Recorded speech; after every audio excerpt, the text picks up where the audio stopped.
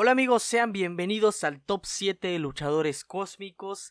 Ha llegado el día en el que sacamos otro top que la verdad, wow, para tener luchadores cósmicos, son bastantes. Fue una decisión muy difícil amigos y pues ahí les va. Ya saben que todos estos tops eh, son manejados de a mi criterio.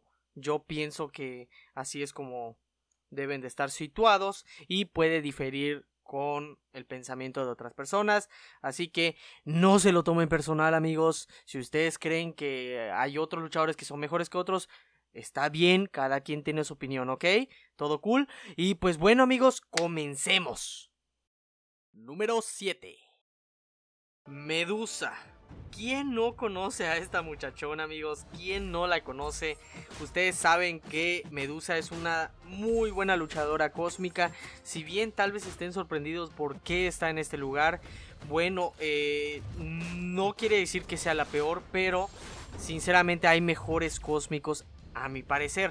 Ella tiene una habilidad muy buena en la que va activando furias conforme va eh, pasando el tiempo y cuando consigue 3 se activa lo que es su habilidad de hebras vivas. Esto ayuda a que en dado caso si te llegasen a golpear y están las 3 furias activas, pues se activa lo que es un bloqueo automático y por ende, como es un bloqueo automático, activas la maestría de parada y aturdes al enemigo.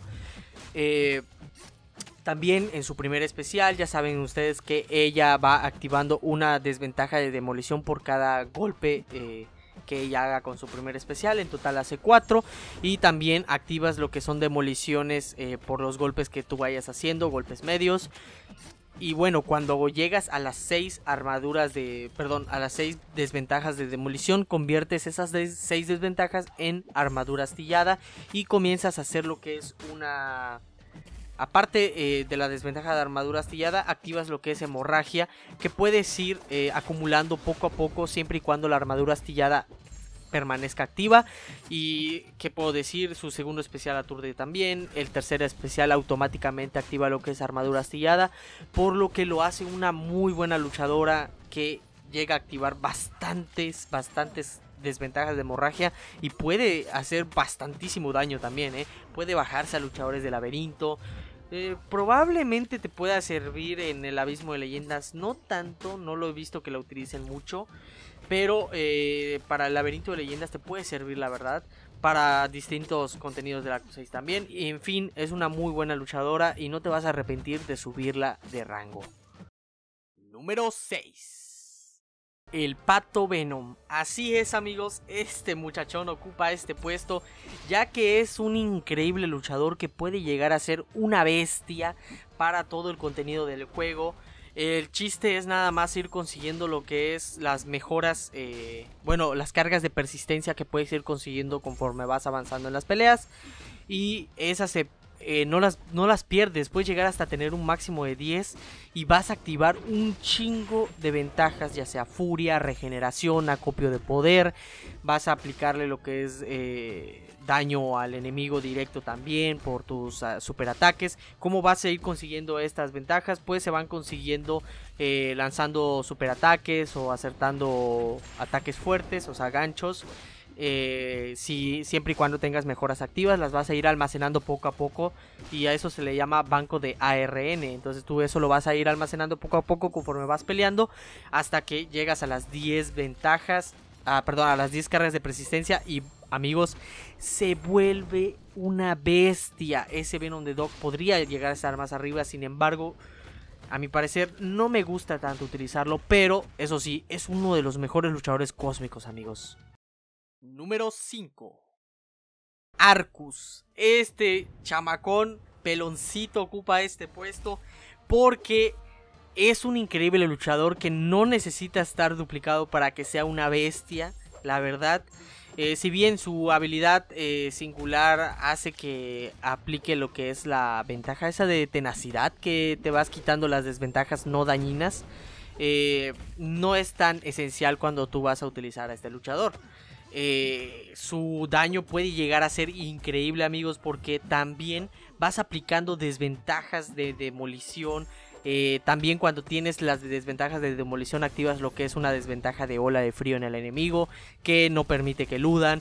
También luego cuando utilizas especiales con él, vas reemplazando eh, las desventajas que tengas activadas, activas lo que es también armadura astillada y dependiendo de las desventajas que tengas activas en el enemigo eh, cada cierto tiempo, pues aumenta la duración de la armadura astillada también. Es un increíble luchador que puede hacer muchísimo daño, amigos. Hacer el super especial 3 del Arcus también aumenta eh, las, los efectos de las habilidades. Eh, durante 20 segundos las potencia, por así decirlo. También eh, si sufre armadura astillada el enemigo mientras haces el especial 3, obtienes un incremento en tu fuerza de ataque de hasta 5300 de daño, lo que la verdad amigos, este daño increíblemente lo vuelve horriblemente fuerte, amigos. Por eso es que Vision Arcus ocupa este puesto. Número 4. Cool Obsidian. Este luchador ocupa este puesto ya que, así como Venom the Dog, también puede conseguir lo que son cargas de persistencia que a la larga van aumentando su daño increíblemente. A pesar de que este luchador ya fue nerfeado un poco, sigue siendo muy bueno amigos. Sigue siendo la bestia que seguía siendo antes, pero con un poco menos de intensidad. Aún así amigos, créanme que este luchador te puede servir para pasar acto 6, te puede servir para guerra, te puede servir para gesta, te puede servir para laberinto e incluso para el abismo de leyendas contra esos Iron Man Infinity War que luego se complican. Te puede servir porque el Cool Obsidian aplica bastantes desventajas de demoliciones, lo cual va aumentando su daño también. Y como lo dije, vas consiguiendo cargas de persistencia a conforme vas avanzando en la pelea. Eh, son tres misiones diferentes que él tiene, ya sea noquear a algún personaje, noquear a algún vengador o noquear a algún personaje que tenga arriba de 95% de vida al comienzo de la lucha así es como vas consiguiendo las eh, misiones del Cool Obsidian hasta llegar a un punto máximo que son las cargas máximas de 10 y pues todas esas cargas van aumentando su daño ya sea en ataque, fuerza de daño crítico, eh, ignora lo que es este el eludir, bloqueo automático, también hasta cuando ya tiene 8 o más cargas de persistencia, todas las eh, mejoras que tú obtengas van a hacer que tenga un 5% más de duración en la mejora de ensañamiento que él activa. Eh, que es lo que lo hace grandioso amigos. Por eso es que Cool Obsidian es un muy buen cósmico y uno de los mejores. Número 3 Hyperion. Sí este muchachón ocupa el tercer puesto amigos porque wow que es una bestia. A pesar de ser un luchador no tan nuevo está a mi parecer arriba de otros porque puede llegar a ser una bestia.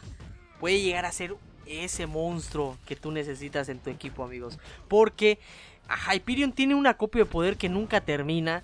Aparte, también tú puedes decidir en cualquier momento cambiar ese, eh, ese acopio de poder por regeneración, siempre y cuando luego le hagas el tercer poder.